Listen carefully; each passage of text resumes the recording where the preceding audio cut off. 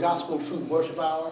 I'm Brother Allen Jackson, bringing to you spiritual songs and hymns and the power of the spoken word of God. First of all, giving thanks to God Almighty for blessing us yet to be on this the time side of life and have this another blessed privilege to come to you in his name by way of this television medium and to bring to you another message from his holy and divine word.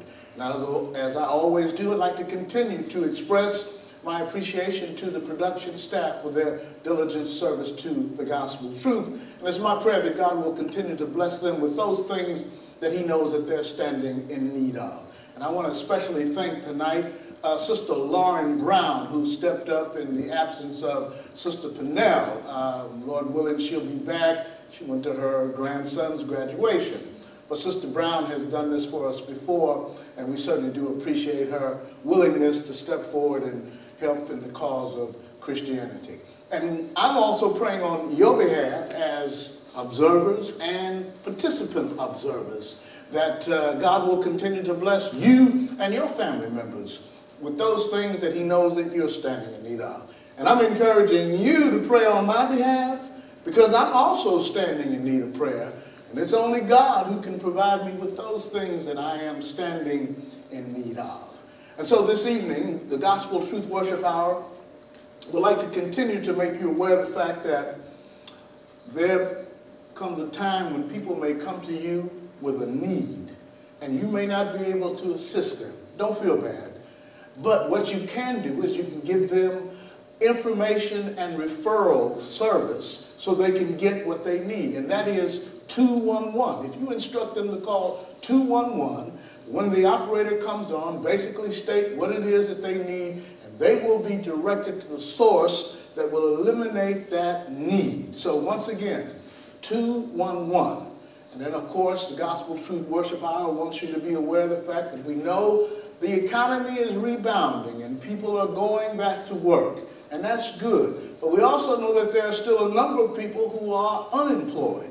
So as a resource for you to assist you with your job search, we encourage you to go to eastbayworks.org. And once you go to eastbayworks.org, then you can bring up the one-stop career center that is nearest to you. There you can go out and find yourself in a world of jobs. You can get assistance with your resume. They can critique your resume. There are mock interviews. And they have telephones and fax machines and computers and all those things that will help you to become gainfully employed. So remember, that's eastbayworks.org, and then you'll bring up the one-stop career center that is nearest to you.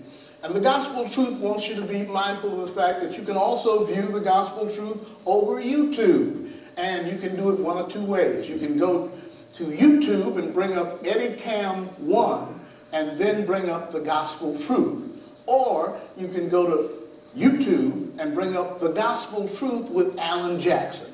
And then you can peruse the various programs that are there. Not all of them are me speaking because we've had a number of ministers and we're going to be bringing even more. So they're all there uh, bringing to you God's holy and divine word. Also, I want to continue to extend to you in the viewing audience a very warm and cordial invitation from the leadership, and the entire congregation that you might come out and worship with us and study what thus saith the Lord. We're located at 3354 San Pablo Avenue here in the city of Oakland. Sunday morning worship begins at 9.30 with Bible study. Then at 11 o'clock we move into our morning worship. Sunday evening we also have the Gospel Truth Worship Hour. All right, so of course you're encouraged to come out and be with us. Then on Wednesday at 11 o'clock, we have an adult Bible class. And then again, on Wednesday evening at 7 p.m., we have Bible classes for all ages. So remember, come by and study with us what thus saith the Lord. All right, so tonight we will be doing the uh, prayer list. So we're going to uh, ask the congregation to sing for us in the background, Sweet Hour of Prayer, as we present the prayer list. All right, so now without any further remarks, the prayer list. I'd like to start off by calling the name of Sister Alberta Jean Anderson and the Jacksons, Alan Fourth, Titus, Brittany, and Alvante, Allison and Tony Ishman, Dr. Janice Marshburn, Mr. and Mrs. Luckett, Teresa Hudson and family, Elaine Pennell. We're also praying on behalf of Sister Laurice Williams and Sister Gertrude Tolliver, the Stevensons, Jesse Jr., Sylvester and Dicey, Jesse Clark, Jessica, Sylvester Jr., Anika, Elijah Lewis, and Josiah. We're also praying on behalf of Sister Mary Marshall and Sister Mildred Perkins. We're praying on behalf of Brother Alan Frazier and Sister Bertha Reed, Sister Christine Aubrey, and also Sister Maria Wilson. We're also praying on behalf of Sister Ethel Jackson and Sister Nettie Hamilton, Sister Roberta Haywood, Brother Lewis and Brother James Williams, Brother Wilbur Jordan, Pastor Black. We're also praying on behalf of Sister Helen Yancey and Sister Esther Gabriel. We're praying on behalf of Mr. Herbert Lester and Mr. Eric Mitchell, Brother John E. Carson and family, Sister Dorothy Lofton. We're praying also on behalf of Sister Margaret Belton, Belton and Mrs. Edie Parker, the Marks family, uh, Ida B. Rockwell, Brother Eugene Williams, Sister Tony Germany, Sister Ethel Gary, and we're also praying on behalf of Trina Josie and family, Brother Ron Thrower and family. We're praying also on behalf of Brother Keith L. Carson and family. Brother Frank Davis, Mr. Robert Bryant, and also Mrs. Jones. Brianna Shams. We're praying on behalf of uh, Al and Wendy Cummings and Norma Coker, Dave and St. Abraham, Sister Marion S. Harrison, and the Bellamy family. We're also praying on behalf of Dolly, uh, Michael, and Kip Andrew, Sister Marilyn Pauly and family. Sister Shantae Wilson, Ronald and Francis, Sister Hannah Mae Parker, and also Mrs. Anna L. Moore, Mr. Gaylord Kelly and family, Sister Crystal Ewell. We're also praying on behalf of Martha Dykes and Maddie Williams, Sister Malachi, excuse me, that's Malachi Ewell, Amber and Amani, Antoinette and Alex. We're praying also on behalf of Sister Betty Lou Wright, Sister Mary Jo A.H. Carson, uh, Sister Yvonne Johnson, and Sister Patricia Benjamin, Sister Lucille Cox, Dr. Stephanie Pennell Phillips and family, Miss Nicole Mosley, also Sister Davina Watson and Sister Mary Johnson, Sister Thelma Harris, Trey Stewart. We're praying on behalf of Joe Jackson Sr. and Joe Jackson Jr., Sister Idell Hearns, and also Brother Woodrow Russell, Sister Pearl Evans, Grace Ewell, Cindy Champion, and Brother Isidore Davis.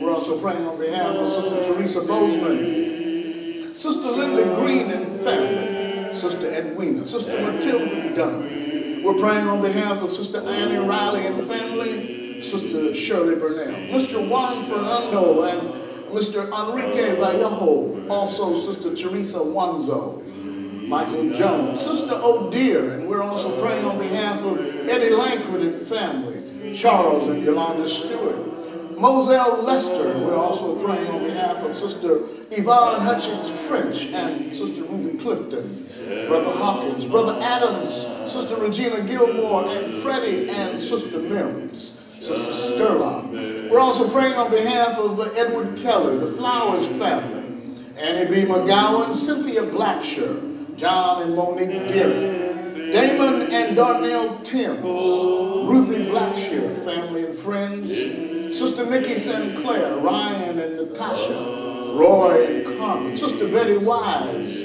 Sister Patricia Rhodes, Sister Pearl Clay. We're also praying on behalf of Sister Connie Divac and Robin Cook, Sister Hazel Brown and Deborah Wade, Charles and Devontae Stewart, Shawishi Monroe, Melody Parker. We're also praying on behalf of Sister Cynthia Baumgartner, Mr. Morris Jackson and Sister Della Gupton, Sister Gwen Fight and also the Wanda McCree family, Sister Nelda O'Neill, Sister Alice Richardson, and Mr. Arthur Polk.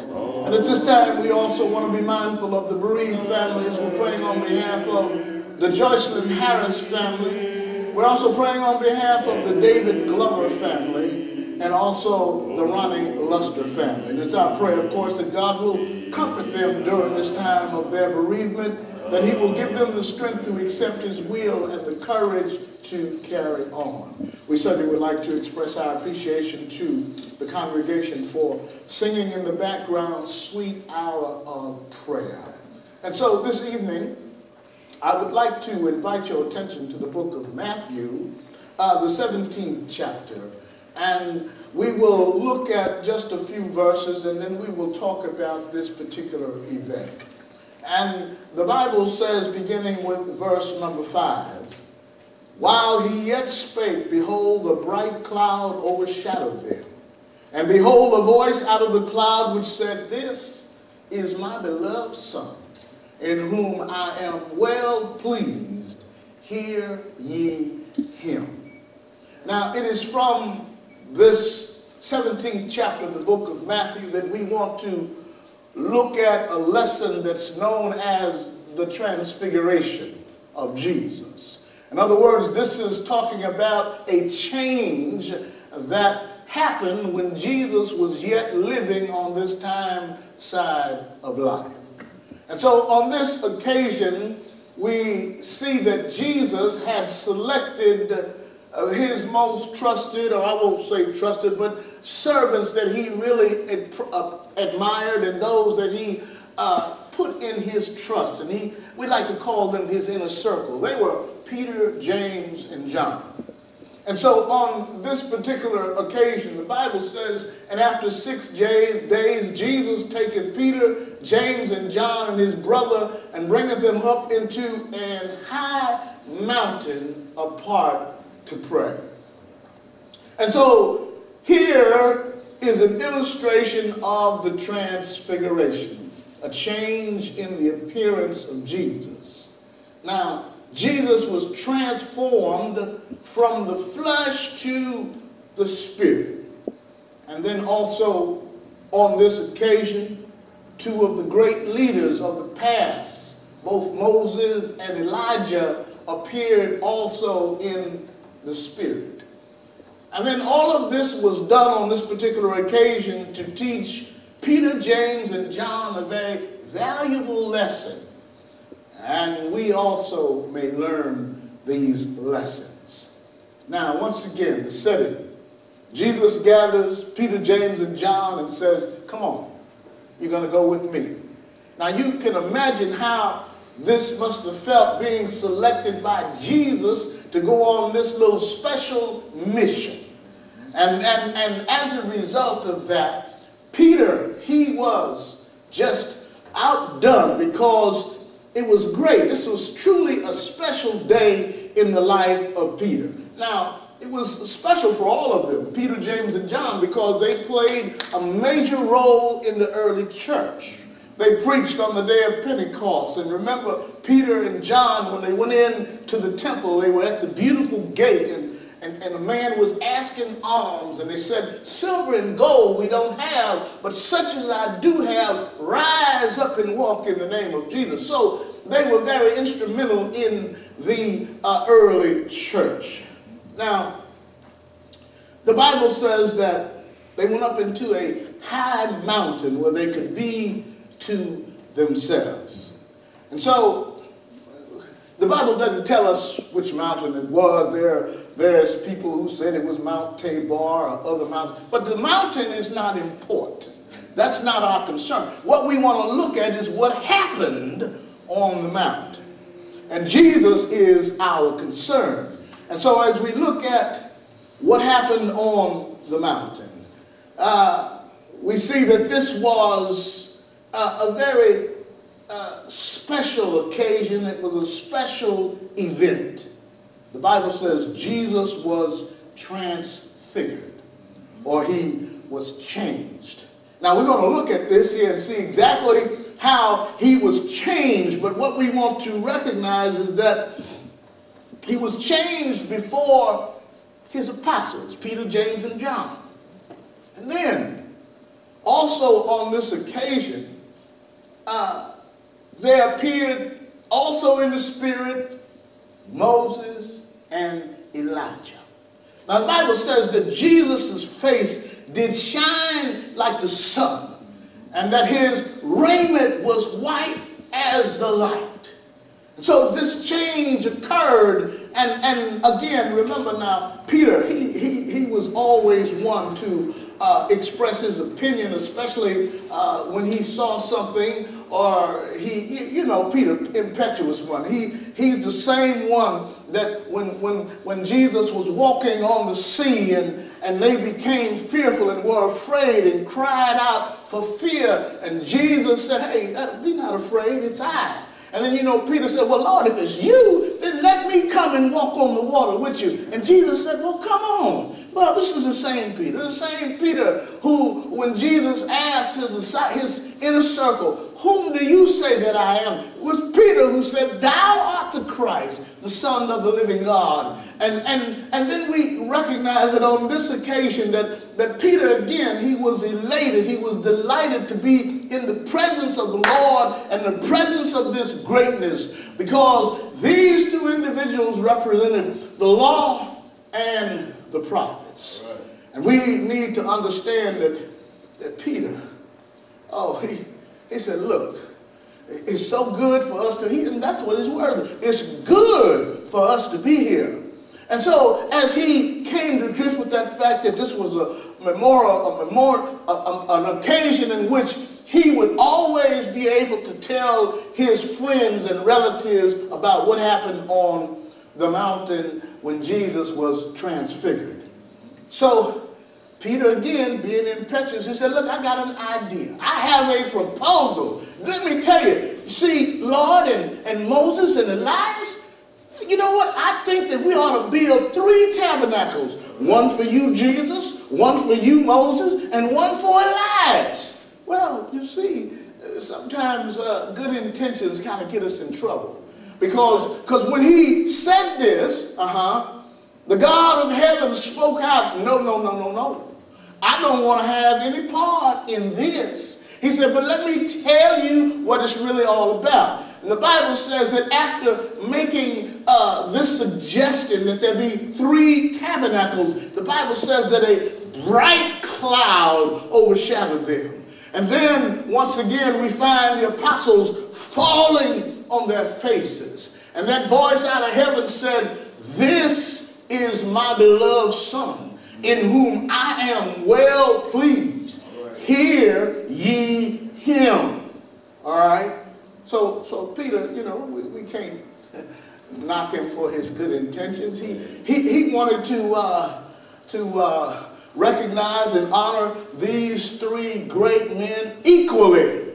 But the Lord had to let him know that he had a son whom, whom he was well pleased, and that's who you were to hear. All right. Now, we also see that, you know, sometimes you go to church and when the preacher's up preaching and he's going and going and everybody's liking it, somebody say, make it plain, preacher. No doubt you heard that, right? Well, God made it plain. He made it plain as to who was to be heard. All right? Uh, Peter thought it was good to be present. He wanted to make a tabernacle for all three. He wanted to, uh, to, to honor them equally. But God said, no, this is not the way it is. And the voice of heaven spoke. And they fell on their face, and again they were afraid. All right? That's not the first time the apostles were afraid. Uh, when, when, they saw Jesus walking on the water, the Bible says they cried out for fear. He had to let them know, have no fear, it's I. All right? But these things happen. I, I, I guess uh, in hindsight now, as I look in the scriptures and see, how could they have been afraid of Jesus? But I wasn't there then. But now I understand through faith that when Jesus is with you, when Jesus is on board, you don't have anything to worry about. I don't care how much shaking going on. I don't care how many storms are raging. As long as Jesus is on board, right. you're in good company. All right? And so, as Jesus did before, he went to those apostles and he touched them. And he said, be not afraid. And he got up. They got up. And when they got up, this time they looked around it was just Jesus standing there all alone. So Moses and Elias had made their appearance, but now they were gone. And as a result of them making their appearance, we learn something from this, and that is that man never dies. All right? We are all going to leave this earth one day, but we're not going to die. Now, now, now, these old bodies, okay? These old bodies are not going to go with, with us here. If you will, let's go over to the book of uh, uh, uh, 1 Corinthians, the 15th chapter. And over in 1 Corinthians, the 15th chapter, we can see what's going to happen to these bodies, verses number 52 and 53. But let me just give this illustration. You know, we send up astronauts out of space, and, and when they're uh, uh, going on up there, that, uh, that rocket that they have, that capsule that they are in, is enclosed or encased with heat shields. And what are they for? To keep it from burning up when it leaves the atmosphere or when it returns. Well, the same principle applies to these bodies. These bodies can't take that heat. All right, is what the Bible says in a moment. This is 1 Corinthians 15 and 52. In a moment, in the twinkling of an eye, at the last trump, for the trump shall sound, and the dead shall be raised incorruptible, and we shall be changed. So we all are going to be changed. The Bible says, for this corruptible must put on incorruption, and this mortal must put on immortality. So when we put on immortality here, then we'll be able to make that journey from earth to glory. All right? So now, the point I'm trying to get you to understand tonight is that the Lord is expecting all of us to change. All right? uh, when, when, when Jesus uh, went to his apostles and they looked up uh, and saw him, and then Jesus instructed, he says, Now I don't want you to tell anybody about this, anybody about this until after the resurrection. All right? So now, what lessons Peter and John and James, what, what, what lessons were they able to see?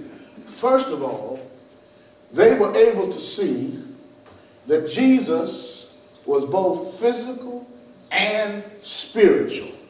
And he changed his physical being into a spiritual being right before their very eyes. All right? And then we also, as I stated, they learned that man never dies. They looked up and saw Moses and Elias. So man never dies. We need to understand that. And then we found that they understood because God made it plain to them who they were supposed to hear. God said, This is my beloved Son, hear ye him. Now understand this. Now if there was ever a time in which uh, we could be considered uh, uh, the possibility of maybe having three different churches or three different organizations that would grant us salvation, God negated that. And if it was going to be, this would have been the time. It would have been an opportunity for Moses to have a church and Elias to have a church and Jesus to have a church.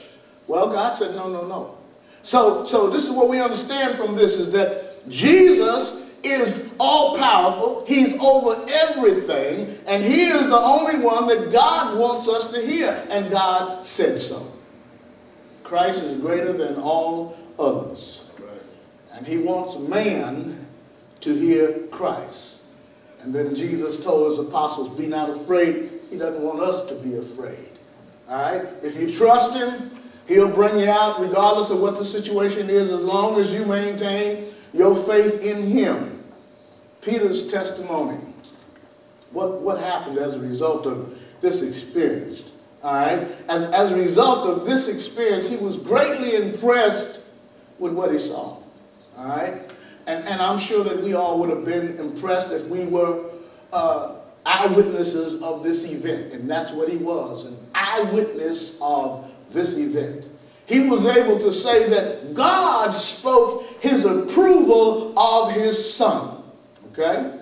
And then uh, he understood as a result of this experience that Christ is the one to be heard. So if you're listening to anybody else, okay? And when I say that, you know, there are a number of folk. I can start from A and go on down to Z, but I'm not going to do that. My suggestion to you is you need to check and see if you are a part of the church that had its beginning in AD 33.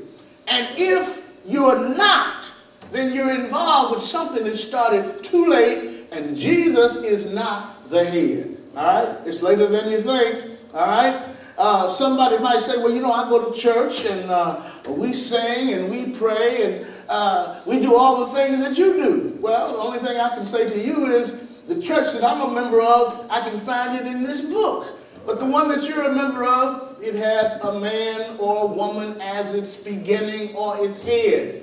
Understand, Jesus is the way. That's why God spoke and said, No, I don't need one for Moses. I don't need one for Elias. I just need my son.